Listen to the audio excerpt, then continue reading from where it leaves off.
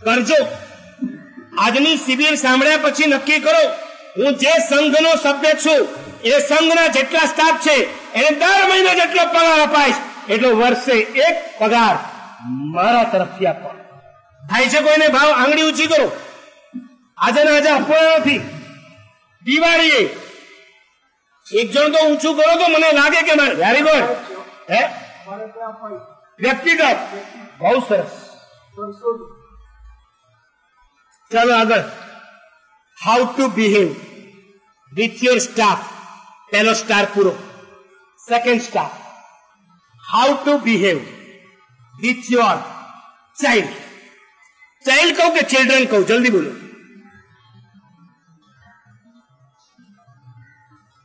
હા રાજેશ એને all over માટે હવે પૂછું છું ચાઇલ્ડ કે ચિલ્ડ્રન ચિલ્ડ્રન બોલો ને એને ચાઇલ્ડ આવી જવાનું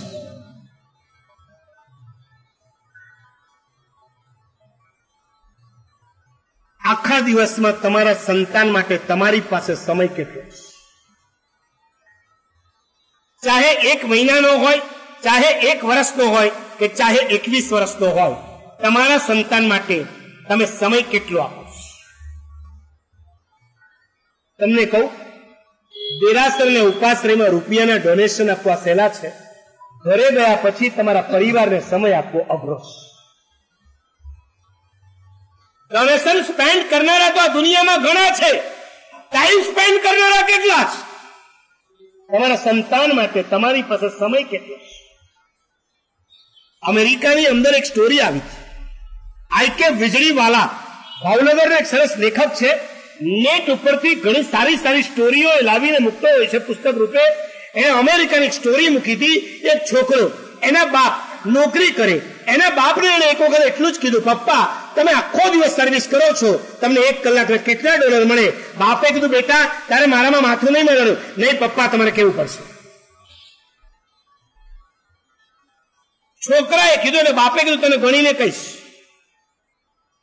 અને આ બાપે ગણીને કીધું કે, બેટા, એક કલાકના વીસ ડોલર છોકરો સીધો દોડ્યો પોતાના ડ્રોવરમાં ડ્રોવર ખોલીને ગણ્યા તો એની પાસે દસ ડોલર ત્યાંથી ગયો કિચનમાં મમ્મીની પાસે. મમ્મા મમ્મા, અત્યારે તું મને દસ ડોલર ઉધાર આપીશ.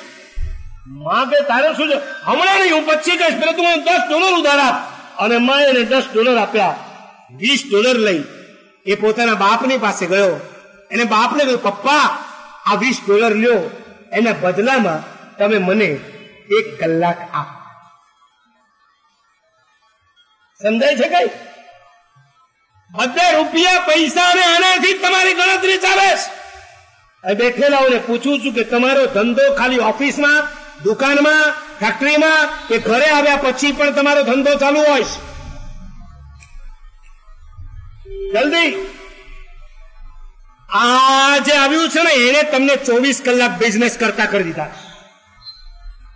જ્યાં સુધી આ તમારી પાસે નતું ત્યાં સુધી તમે દુકાનમાં કે ઓફિસમાં સાત કલાક, આઠ કલાક ધંધો કરતા હતા, એટલો જ કરતા હતા. આજે રાતના નવ વાગે પણ તમારા ધંધા ચાલે છે. દસ વાગે પણ ચાલે. અને બાર વાગે પણ કોઈનો ફોન આવે, આખા ઘરને સૂતા મૂકીને તમે ધંધો કરવા માટે જઈ શકો કોઈ લિમિટ નહીં. કોઈ બાઉન્ડ્રી નહીં. તમારા સંતાન, મારે તમને પૂછવું છે. દીકરાને જન્મ આપ્યા પછી સમય આપવાનો તમારી પાસે સમય નથી. તો તમને જન્મ આપવાનો સમય પણ શા માટે મળે? જન્મ આપ્યા પછી એને સંસ્કાર આપવા માટે તો સમય જોઈએ કે ના જોઈએ? અને જો સંસ્કાર આપવાનો તમારી પાસે સમય ન હોય ને, તો તમારા દીકરામાં અને જંગલમાં જન્મ આપતા ગધેડાના દીકરામાં કોઈ ફરક નથી. જંગલના ગધેડા અને તમારા સંતાન.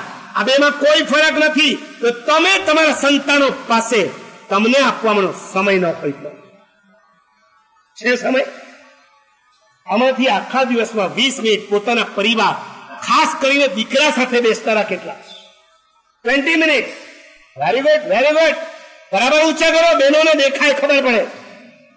મોબાઈલ માટે સમય છે. મૂવી જોવા માટે સમય છે. ક્રિકેટ જોવા માટે સમય છે. છાપું વાંચવા માટે સમય છે.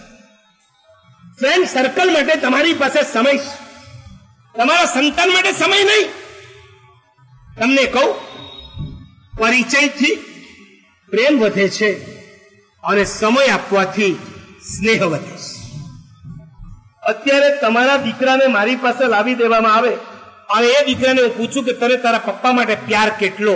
કેટલા દીકરા એમ કહેશે કે હંડ્રેડ પર્સન્ટ મારા પપ્પા માટે મને પ્યાર કેટલા કહેશે? સમય આપો તો સ્નેહ વધે છે. સ્ટાફને સંપત્તિ આપો અને સંતાનને શું આપો? સમય.